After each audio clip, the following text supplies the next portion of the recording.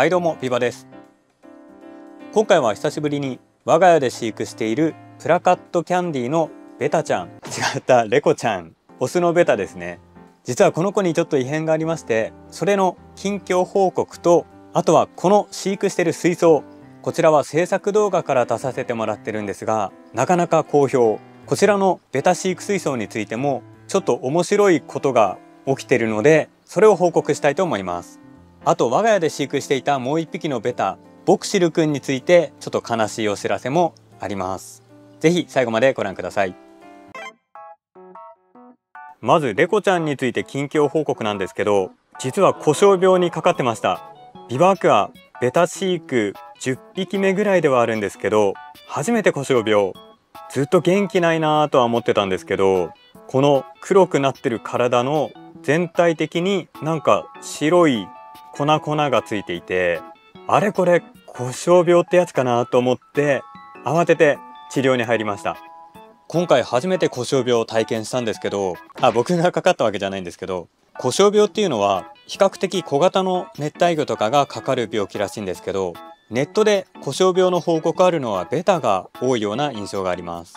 この病気進行してしまうとやっぱり熱帯魚の生死に関わるので早期に治療することが望ましいんですけど実際この故障病と呼ばれるゆえんの体表に白とかきなこ色の粉がつく状態。これが出てしまうともう初期を通り越して中期にかかってるらしいです。初期の症状は外観ではちょっとわからないらしくってこの胡椒のような粉がついてきてやっと気づくみたいなちょっと厄介な病気ですね。ただ魚の行動で早期発見することもできるらしくって体をこすりつけたり体を震わせたりするそんな症状が見られたらちょっと疑った方がいいみたいです。さて故障病の治療症状のステージによって対応も変わってくるんですが初期の段階ではこちらのアグテンとかグリーンエフリキッドとかこういったものが有効らしいですね。今回はこれにプラスして遠浴を並行して行いました。レコちゃん体表に故障病の症状が出てたので初期か中期かっていうところで迷ったんですが今回はこのプラケースに水を入れて0.5%くらいの塩水になるように粗塩を入れました。それにこちらのアグテンを規定量入れてあとはこちらのオートヒーターで水温をキープする。そんな感じで1週間くらい隔離していたんですが今回はなんとかこの治療セットで故障病を治療することができました。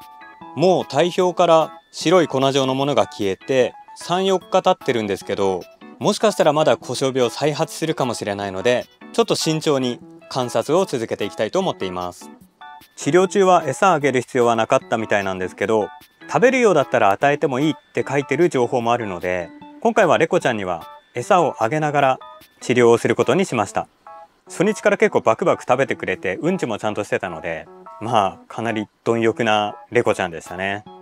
今は見ての通り体はすごい綺麗になって、まあ、こんな感じで元気なのでだいぶ状態は良くなっているとは思うんですがまあまだちょっと注意深く観察をしていきたいと思います。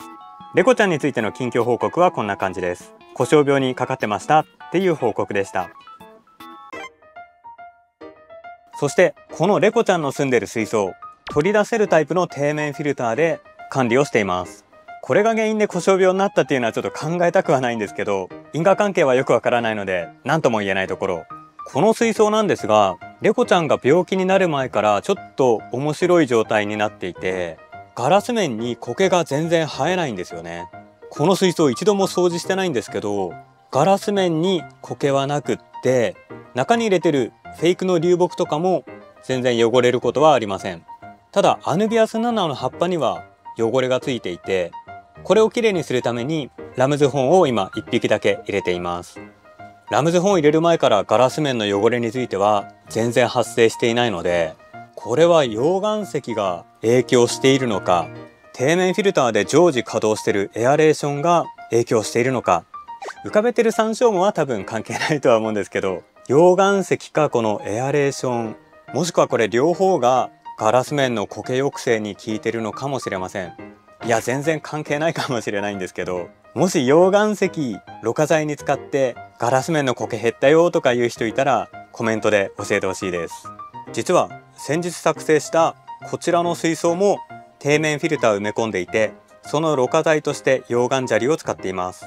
こちらも全然苔生えないんですよね。なので今回ベタ水槽で使ってる底面フィルターの溶岩石これがガラス面の苔抑制に効いてるんじゃないかなと予想を立てたっていう感じです。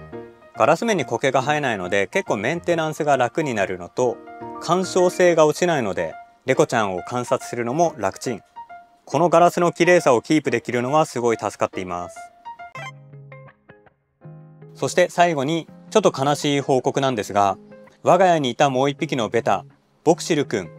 だいぶ前に亡くなってしまいました。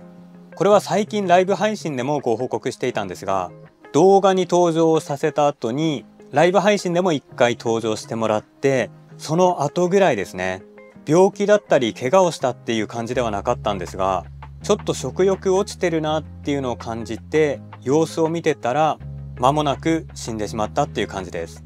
原因が全然わかんないのでちょっとびっくりはしていたんですがお迎えして全然時間も経ってなかったのでちょっとかわいそうなことをしたなと思っています。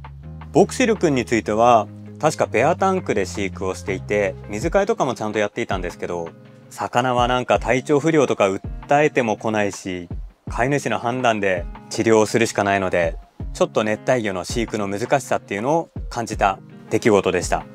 ということで現在我が家で飼育しているベタはまた猫ちゃん1匹だけ猫ちゃんは結構お迎えしてから長いですね最初はあんな色白だったのに今はこんなおっさんじゃないや 色黒になってしまって。まあこれはこれで可愛いんですけどね。というわけで今回はレコちゃん故障病にかかってました報告とこの飼育水槽全然苔が生えなくてびっくり報告とあとはボクシルくんが亡くなってしまったという悲しいお知らせでした。いやめっちゃ泳ぎ回るな。取りづらいな。もうすっかり寒くなってきたので水槽内の水温管理しっかり気をつけながら熱帯魚の病気発生には気をつけたいですね。ちょっとどこ行ったんだ？全然映らない。